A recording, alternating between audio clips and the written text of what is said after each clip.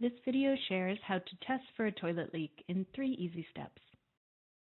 The tools required are food coloring from the grocery store or a dye tablet designed for testing uh, toilet leaks. Step 1. Remove the toilet tank lid. Step 2. Add one drop of food coloring or the dye tablet into the water in your toilet tank. Step 3. Wait for up to 15 minutes. Results will happen quite quickly for toilets with large leaks and take a few moments longer for small leaks. If the color seeps into the bowl, there is a leak. Fixing a toilet leak saves hundreds of liters of water per day that would otherwise go undetected. So thank you for checking out your toilet.